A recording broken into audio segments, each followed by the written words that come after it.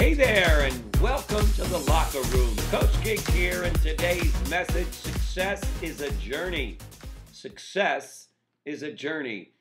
Years ago, John Maxwell wrote a book, The Success Journey. He didn't write a book called The Success Destination because he believes, as most experts do, that success is a journey. Stories of unusual success, despite all manners of handicap, nearly always capture our attention.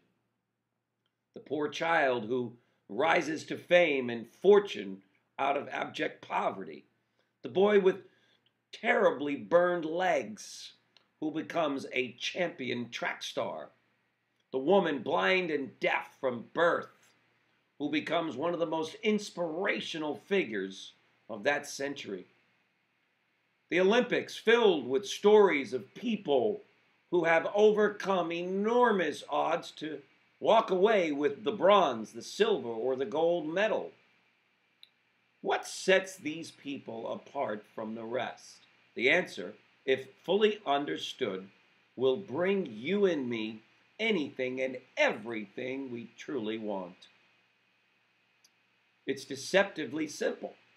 Here it is having a goal to which we are fully committed. That's it.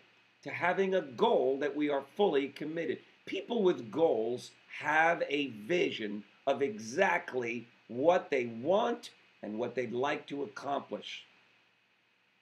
And that vision carries them over every obstacle. The best definition of, of success that I've ever found goes like this Success is the progressive realization of worthwhile personal, personal dreams and goals. It means that anyone who's on course toward the fulfillment of a goal is already successful. They're on that journey for success because success is a journey. Keep in mind that success does not lie in the achievement of a goal, it lies in the journey towards the goal.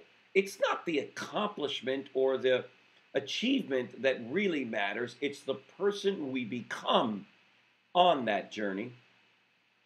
We're at our best when we're focused on something specific that we want to accomplish and achieve. So let's get about it. Let's enjoy the success journey. And if you're in hot pursuit, I don't care if you've achieved that goal that you wish to have yet. I don't care if your children are not exactly where you want them to be or your life isn't exactly what you want it to be at this time.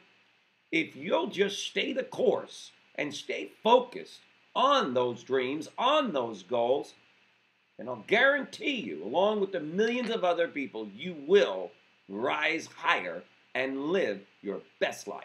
Make it a great day. Thanks for joining me in the locker room today, gang. Remember, success is a journey. So let's enjoy the ride. We'll see you later in the locker room. Bye-bye. If you've enjoyed and feel that the Daily Locker Room has served as an inspiration in your life, why not take this moment and do the same for a friend by sending them the daily message? Click on the Tell a Friend tab, fill in their information, and help spread the inspiration.